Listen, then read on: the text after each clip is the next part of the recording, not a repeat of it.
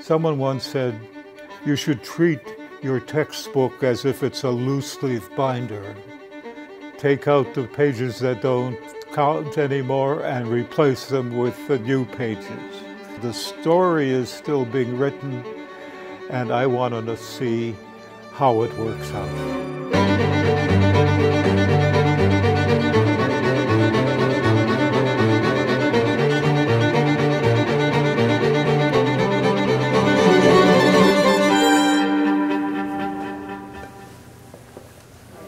I knew almost from the beginning when I started at the medical school here that this was not just a job.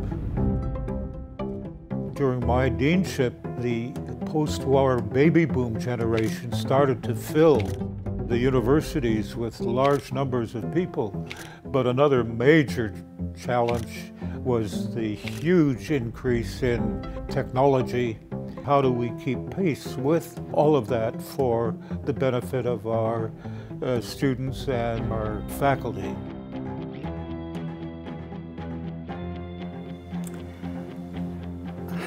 You know, I think that you could film me probably for 24 hours and I wouldn't do justice to what Arnold Naimark has done with his life.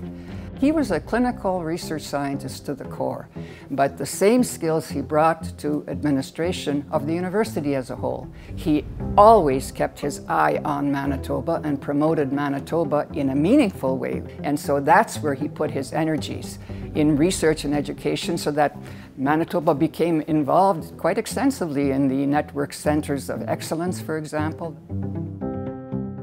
When I became the dean of the medical school, there were a wide variety of changes that were taking place. There weren't many specialty training programs in Manitoba, so graduates from Manitoba who wanted to specialize usually had to leave the province and sometimes the country. Now that's changed quite dramatically. He really took the university into the broader community and identified certain sectors of that community that really needed greater push and initiative.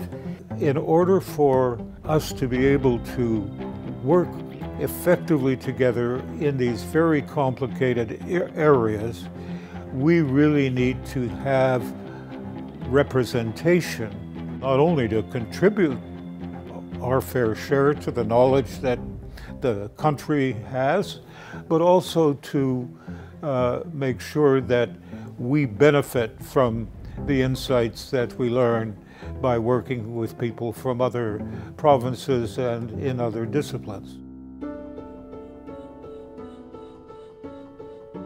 I think that he serves as a role model for any University of Manitoba alumnus or alumna on what you can do with your life I mean, the awards are endless, but I think that doesn't matter as much as what those honors represent. And that is really a lifetime of dedication in service through the mechanisms that he knows best. The award being given to me is a very special opportunity for me to say thank you. Thank you to the university, but thank you to all of my alumni colleagues all over the world who do good work day in and day out and who are a great source of pride.